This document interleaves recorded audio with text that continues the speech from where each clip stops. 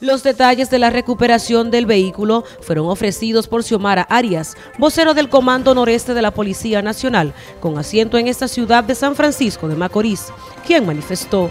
Les informamos que fue recuperado por miembros de la policía el carro Macar Hyundai de color blanco, el cual fue dejado abandonado en la entrada de la factoría Briquetas Nacionales Salida en Agua, aquí en San Francisco de Macorís.